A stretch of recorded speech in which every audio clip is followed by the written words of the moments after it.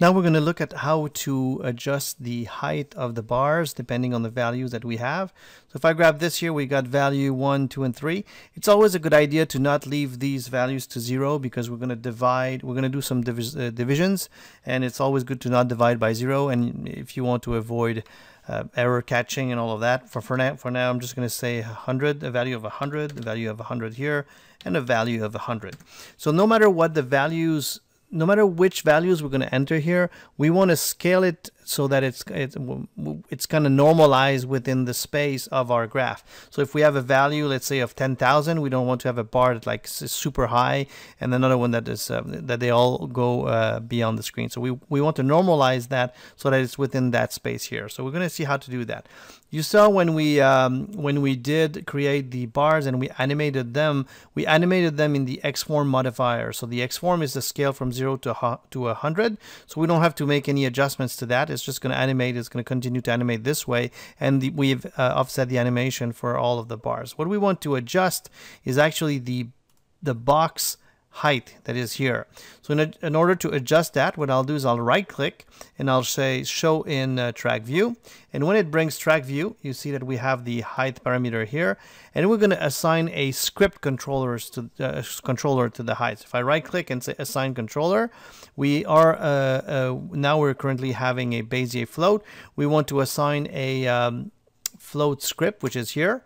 And I'll say OK, and it's going to bring up the script window in order to be able to do our uh, normalization, we have to we have to do this. So I'm going to say the value that I want to adjust, or value 1 or height 1, I want that to be a, a multiplication of value 1 divided by value 2 plus value, uh, sorry, value 1 plus value 2 plus value 3 and I want all of those to be uh, normalized uh, or multiplied by a, a, certain amount. So I'll say maybe 100 for now, multiply, and that's going to be our value. And, and we're going to adjust all of that, but it's value 1 divided by the sum of all the values of the other bars. By doing this, we're going to be able to normalize that. The thing is that the, we, are going to call it value uh, value 1 divided by value 1 plus value 2 plus value 3. But right now, those um, those variables don't mean anything to the script editor because it doesn't know exactly what it refers to. So we have to create variables that match those names and we need to connect them to parameters or to controllers in our scene. So what I'll do is you know, I'll, create a uh, first variable called value, oops, value one, and I'll create it. I'll create another one called value 2, say create, and another one called value 3, and say create. Right now, they have no value, so I'm going to assign that to a track, and a track, I, I, what I need to do is to go into my objects here. We have our control object, which is the circle that is here. I could have named it control. That would have been easier to find out. But you see that we have value 1, value 3, and value value 1, value 2, value 3. So I'll say connected to value 1. And now you see that it's connected to that. That's good. I'll do the same thing with value 2. I'll say assign to a track. And I'll go again to the circle. And I'll grab value 2 and click OK. And value 3 assign to a track and I'll say assign to value 3 and say okay. So now we have value 1, value 2, value 3 assigned to the values that are in our object that is here. So if I say evaluate, immediately you'll see that the, I'm going to minimize this, you'll see that our height has been adjusted.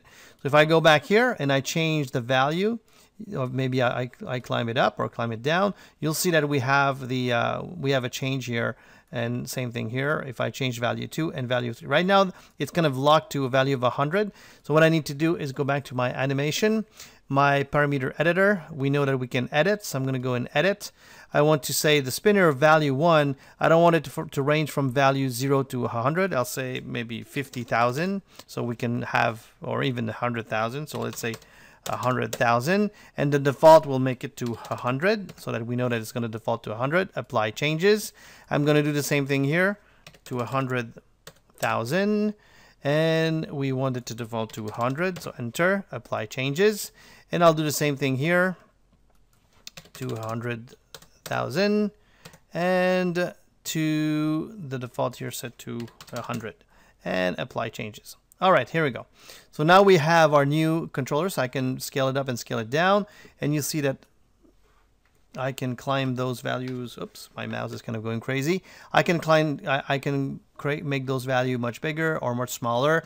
That's not a problem. But you see that depending on which, uh, depending, it's when it because it's normalized. All of these values here are kind of uh, no matter which value I adjust, you see that they all affect the height of this one. So I can go back here and I can go back to my controller. My expression is my expression is already done. I can adapt it for uh, the bar 2 and bar 3. So what I'll do is I'll just close this down and I'll grab the controller itself, which is here, the height controller. I'll right click and I'll say copy and I'll grab the, uh, the box here and I'll go and grab the modified object. And if I go to the box the base here. The height is right here. I'm going to say paste, but I'm not going to make it an instance, but just a copy. And now it's going to be exactly the same control, but that's fine. And I'm going to, if I double click on it, we, you'll see that we have value 1, value 3. They're already connected, so I don't have to do that again. But now I'm interested in value 2. So I'll say value, come on, value 2. That's going to be the value at the top, and I'll say evaluate, and that's good. And then I'm going to grab bar number 3 and I'm going to do exactly the same thing modified object box grab the height and say paste. I want that to be a copy not an instance. And I'll double click and now I'm interested in value 3 and say evaluate and I'll close this down so now what we'll see is that no matter what if I select any of those values if I say let's say a value of 100 here a value of 100 there and a value of 100 here what we'll see is that Hmm. Okay, so I just need to play the animation completely. When you're recording, you sometimes you just realize that uh, that you're you're recording and you're not thinking. Anyway, so what I've got now is my three values and they all have their controllers. The animation is still working. But if I go now, if I go at the complete end of the animation and if I grab my uh, my editor here, you'll see that if I say value of 500 is going to go up and the two others will go down. If I have a value of 50,000, this one is going to be very high. This one will be low. But you see that it always stay within that um, that range here of the of the bar, and that's because of the value of the hundred that I've set as a as a multiplier. If I want them to be smaller, let's say that I go back to my um, to this object here, and I go back to the uh, track view, and I go to the modified object here and grab the um, the height here I set it to a value of 100, but if I want that to be a bit smaller, I say a value of 50, and I'll say evaluate, and now this the bar will be a bit smaller. I need to adjust that on the three bars, but a value of 100 works fine, so I'll leave it to 100, but you'll see that this one here, if I set it back to say 100 you'll see that it's going to be a bit higher so evaluate. You'll see that it's going to be higher and that's just a scalar. And you, if you want to let's say that you want to make be able to adjust that you could also give it so value 1 value 2 and value 3 and you could add a, um, a slider here that's called scale and you can multiply the whole um, the whole normal, normalization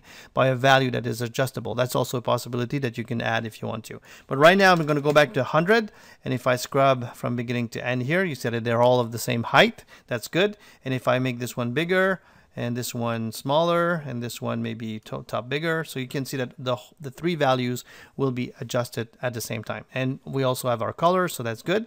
And it when we save this it's always good to save it in a generic format. So I'm going to say a hundred a hundred and a hundred. So they're all uh, at the same height and that's how it looks now. And I'll just save this as in, in the current state. So that, that means that when I'm going to open that file, it's going to be in camera view and the values will be grayed out or the, the colors will be gray and the values will be all equal. I need to change them.